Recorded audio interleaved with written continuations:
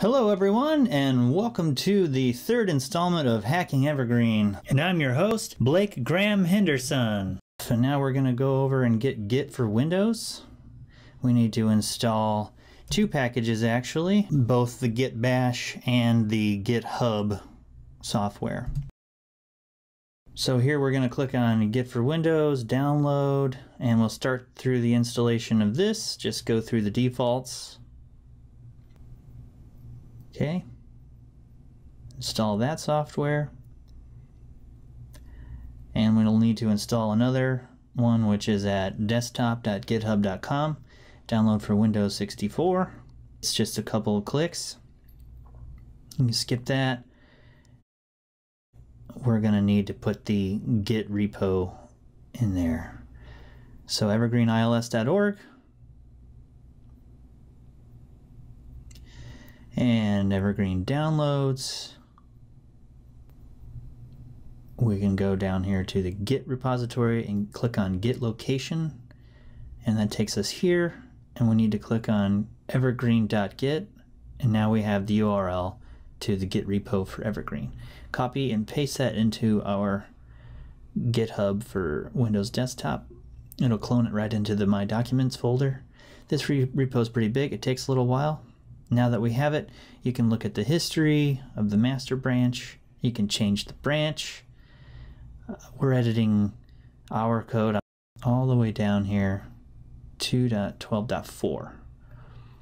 That's what our Docker container is running, so we might as well switch over to that branch so that we're looking at the same stuff. And here it is in the documents. This is the contents of the source code that was just now cloned. We'll open up Eclipse. We downloaded that earlier. Eclipse is going to ask us where we want the workspace to be. You can just leave it default. Right on.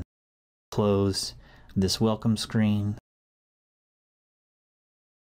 And we need to add our project to Eclipse. File, new, we'll just choose project. Because Evergreen's written in various different languages, Perl and JavaScript and tons and tons of different ones. We'll just go general. So the location needs to be in my documents GitHub. And the project name, match it the same as the folder name, Evergreen, with the capital E. And now we should see the source code for Evergreen loaded into Eclipse. Next thing we need to do is find a bug and I'll just kind of give you a little tour of launchpad.net. This is where we currently keep track of our evergreen bugs.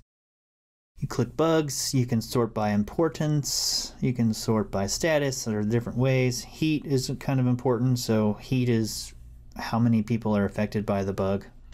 Advanced search, you can turn on and off different things. Like right now, we don't really care about the ones that already have a fix. I have a bug that we can maybe look at for today. It's called group members, something like that. Here it is. Group members don't display. this is one where on the web-based staff client, you open up a patron account and then you click on group members. It doesn't show any group members. So let's take a look at that. If we go ahead and log into the web-based staff client on our Docker machine, it gives us a certificate problem. You can just go ahead and click through the certificate. And to double check, you also want to make sure that um, it opens up in port 7682. And that's what you should be able to see, not found, instead of a certificate error. Now we can log into the web-based staff client. It's admin and the password's demo123. And here we need to, for the first time, we need to go ahead and register our workstation. Pick a branch, give it a test name and log back in.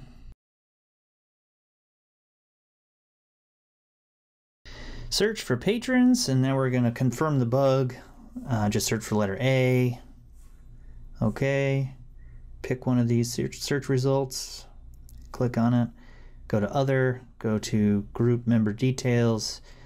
And lo and behold, the bug is correct. We've just confirmed that it doesn't show anything in the group member details.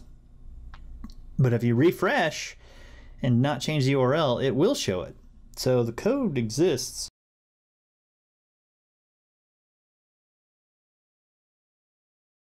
So now let's do it again, but this time let's open up the browser tools and look at the console. Go back to search, search for A, click a result, click on other, and go to group member details.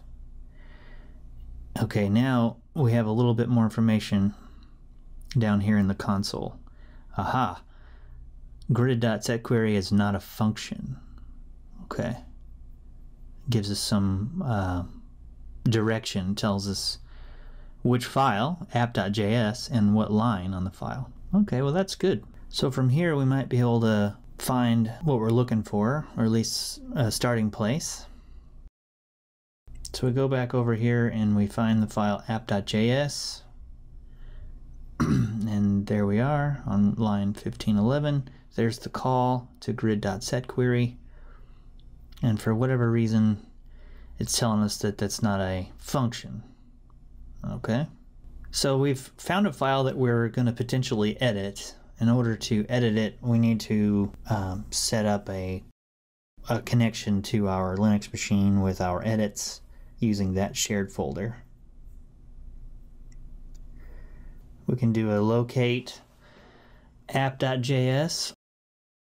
Now app.js is has a lot of files, so we're going to need to grep that output for patron because we know it's in a patron folder and then we can also further grep that with UI. Now we have two places where that file exists, one in the production folder open OpenILS and then one in the repo. So let's open up handy dandy Notepad++. The first time you open up Notepad++, we're going to need to make some changes to the settings. So click on Settings and go to Preferences we're going to make two changes. One is in new document, and we want the new document to be set to Unix. And the other thing we're going to change is in language. And we want to replace all of the tab characters with space characters. This is because Evergreen source code is written with space characters instead of tab characters. Press close and we're ready to go.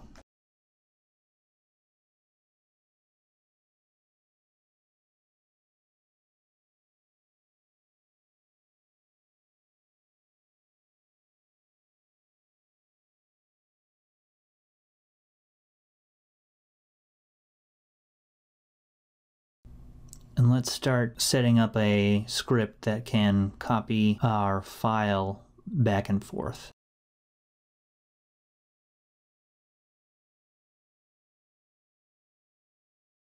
So CP for copy.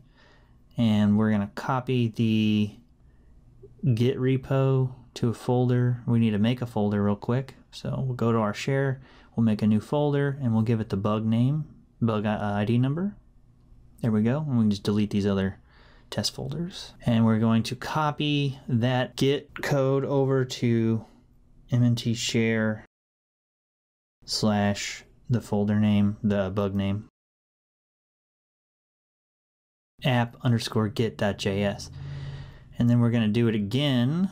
This time we'll copy the one out of production, open OpenILS, copy that over to the same folder, and we'll call it app.js.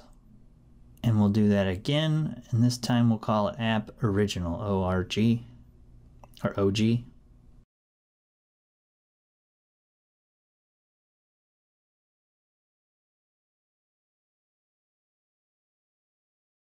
Now we've got three files. And while we're at it here, let's install a new tool. I'll introduce you to Beyond Compare. This is a really nice tool to have. So we'll run through the wizard here. Install, install, accept, next, go, go, go. So now with that installed, you can click two files and right click and cl choose compare. And now it says it's the binary same. So this is app underscore OG and app underscore git. Now we can compare the original app.js and app.git and look, they're the same as well. So all three of these files are identical, every single line. Edit app.js.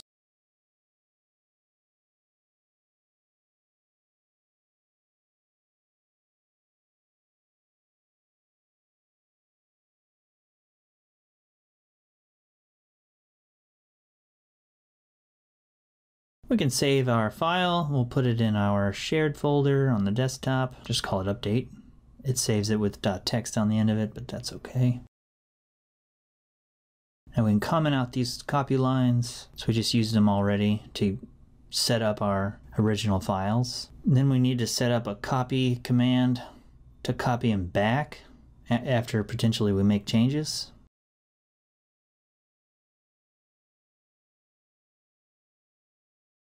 This is going to be the section of our script that copies the stuff off of our shared folder and puts it back into the production folder. This is for debugging and testing.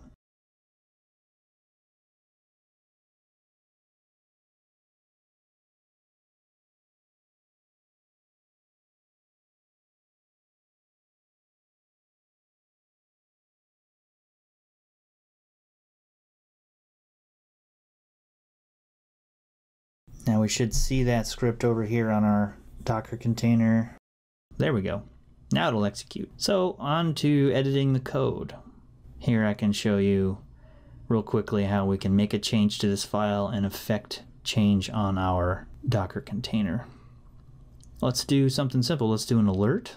This is JavaScript. We'll do alert and we'll say grid and we'll add the grid variable and we'll just alert that. Save the file execute our copy script, go back to the staff client, refresh, and there's our alert. So the change we made happened. Okay, so now I'm just going to go through a troubleshooting routine, trying to figure out how to solve this bug. I'm to add things to the script, subtract things from the script, test, and repeat.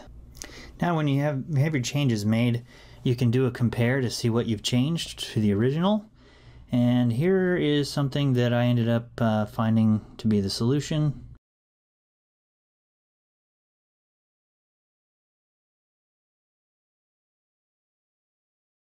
And you can compare it to the git file. Now the git file is the one that we're going to use for git for committing our changes. So we're not going to include any console logs or anything. We're just going to make the the minimum amount of changes in order to fix the bug. Copy over using beyond compare just the lines that I need into our app underscore git.js file. So I'm skipping the console.log lines and I'm just adding the lines we need. And then I'll save that app underscore git.js. It's just those lines, just a few lines, save. And now you can open up the app.js or app underscore git.js file in Notepad and go to the lines affected and double check to make sure that it looks nice. There aren't any um, indented lines that are incorrect or anything like that. Looks make sure it looks good because when you look at it in Beyond Compare, sometimes it spaces things out when it's not really spaced out in the file. So just to give it a double double check, looks good. Now we're going to copy our changes to the Git repo, but we need to reverse the directions. So we're going to copy the app underscore git.js file back over to the uh, OpenSRF repos evergreen.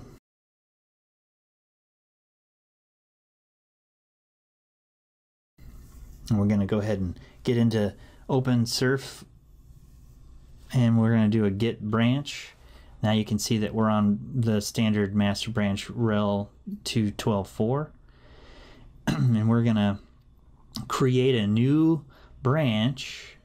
There we go. And we're going to give it LP and then the bug ID. Now you can see a git branch shows us LP and then the launchpad ID. So now we're going to copy over the file into our repo. And now you can do a git diff. And here you can see the changes that we're going to commit. Just a few lines, three lines above, one line removed, another one added down below. So we'll go ahead and do a git commit minus AS. And the first line of your git commit needs to be the launchpad bug ID. And we'll grab that. And it's nice to go ahead and also add the title of that bug which is in this case web staff client group members don't display. We'll stick that on there. Do a couple enter keys and give it a quick summary of what we did.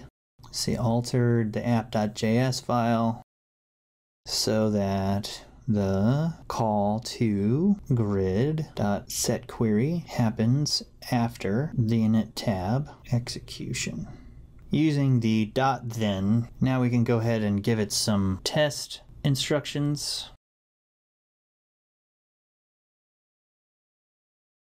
Step 1. Log into Webby. Search for patrons. Find a patron. Step 2. Click a search result and click the other menu. Step 3. Choose group member details. 4. Notice that, the, that there are no grid items. Step 5. Apply the patch and then repeat steps 1 through 3 and 6. Notice that there is at least one grid item. Save that file and now you can type in git log and you can see our commit at the top and that is how you do that. It has been fun hanging out with you today. I really appreciate you watching. Evergreen is wonderful software and let's continue to improve upon it. Have a great day. Bye now.